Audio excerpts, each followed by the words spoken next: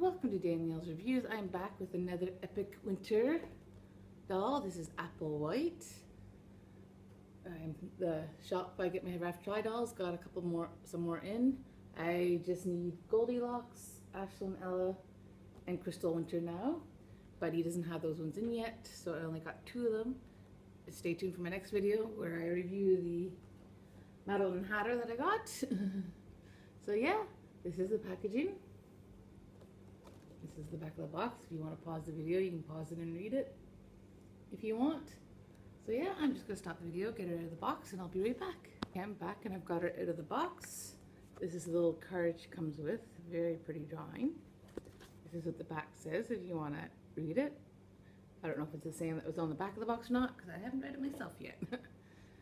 she comes with this purse, which will go in my accessory box because I don't display them with purses because I'm constantly knocking them out of their hand anyways. And I don't like to keep the elastics on them. and also comes with this ring. She's got like a white rose in the middle. Is obviously too small for my finger. It'll go in the accessory box.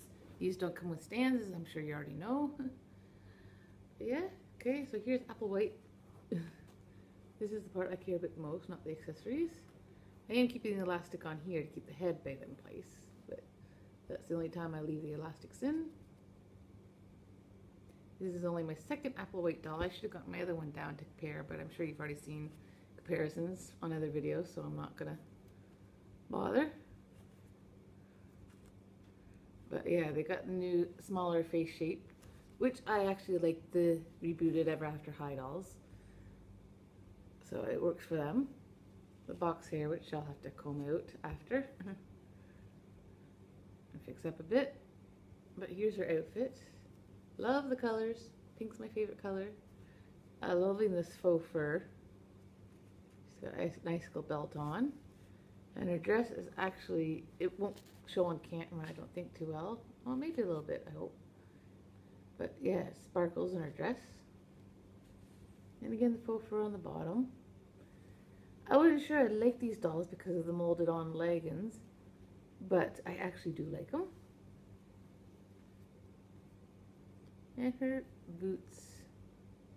There's again the icicles down here. I am loving this series of Ever After High dolls. I think they're absolutely beautiful. And I like the new face styles. So yeah, that's pretty much it for this review though. Thank you for watching. Please like, please comment, please subscribe. Bye bye.